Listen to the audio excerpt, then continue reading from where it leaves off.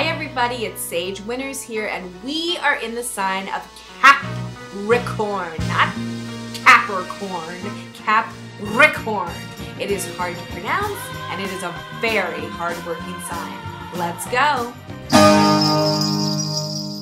Capricorns are very ambitious and that's why their mascot is the goat. They like to climb to the top, even the top of the treetops.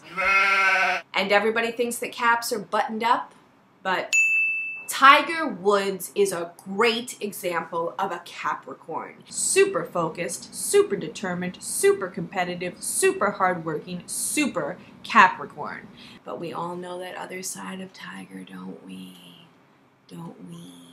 He is wild sexually. But Tiger made the mistake of marrying a fellow Capricorn, which can be a good match unless you cheat.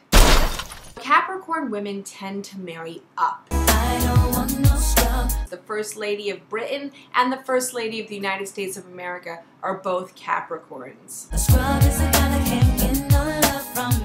Talk about determined. Heidi Fleiss hated school and dropped out as a teenager and started a very successful babysitting service.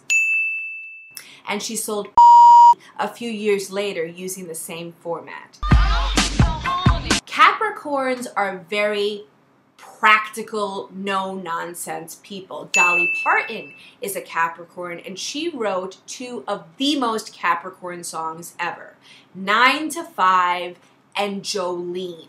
Jolene, Jolene, Jolene, Jolene. I'm begging of you, please don't take my man.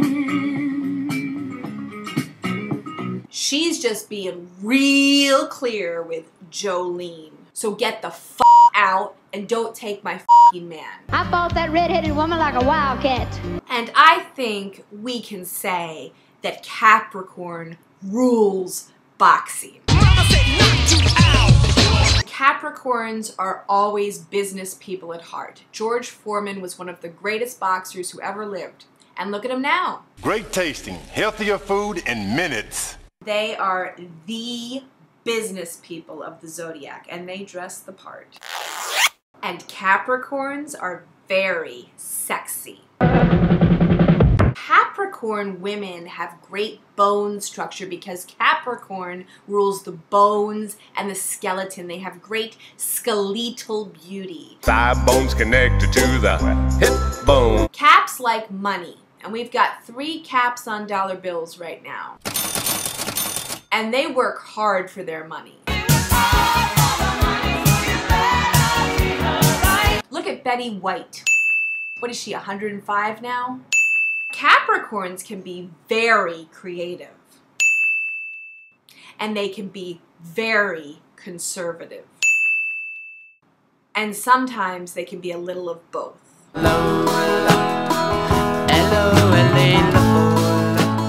And by the way, Rush Limbaugh is known for his super conservative political views, but did you know he made millions selling neckties? The Rush Limbaugh collection. Neckties are nooses, people.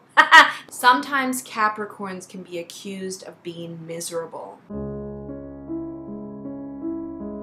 And they can be very wise, like these two Russian wise men. But if you have hemophilia, go see a doctor. Capricorns can actually be very shy and don't like too much attention, like Dame Maggie Smith and Howard Hughes and Phil Spector. But sometimes they like a lot of attention.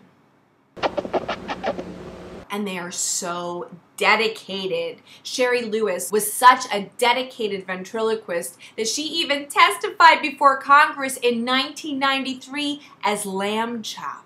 I am the star. Capricorns are very organized and very loyal.